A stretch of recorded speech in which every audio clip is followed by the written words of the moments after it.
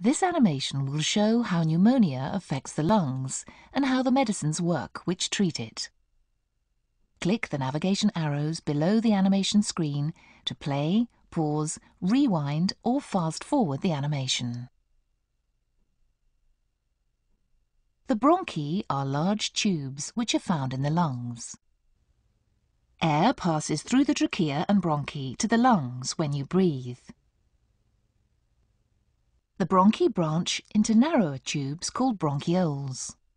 The smaller tubes are attached to tiny air sacs called alveoli. In healthy lungs, the bronchi and alveoli expand and relax, allowing oxygen to be taken into the body. Pneumonia is an infection of the lung tissue. This causes the alveoli or air sacs and smaller airways in your lungs to become inflamed and fill with fluid. The inflammation and fluid make it harder to breathe, so you may breathe faster or feel breathless.